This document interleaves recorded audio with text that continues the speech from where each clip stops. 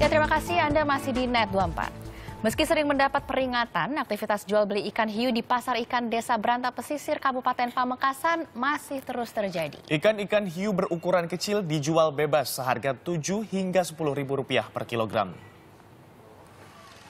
Aktivitas jual beli hiu di pasar ikan Desa Beranta Pesisir Kecamatan Telanakan Kabupaten Pamekasan masih terus berlangsung.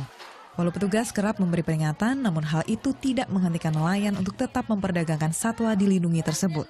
Setiap harinya, pedagang memperdagangkan ikan hiu beragam ukuran mulai dari ukuran kecil hingga besar.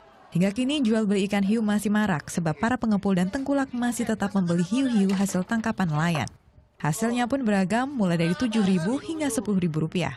Tapi untuk menghindari penangkapan hiu yang kecil ini sulit karena begitu masuk ke alat tangkap tidak bisa keluar lagi kecuali dipancing baru bisa itu Pengurus nelayan desa Beranta Pesisir mengaku ikan-ikan hiu yang dijual adalah ikan yang tidak sengaja masuk ke jaring nelayan.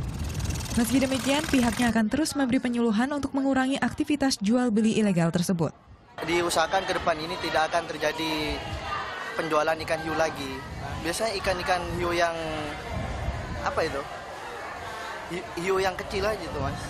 Nah, yang besar tuh kadang dibuang lagi sama mas sama anu. Sebagian besar penduduk desa Beranta Pesisir berprofesi sebagai nelayan. Desa ini juga menjadi tempat pelelangan ikan terbesar yang ada di Kabupaten Pamekasan, Jawa Timur. Didik Setiabudi melaporkan untuk NET.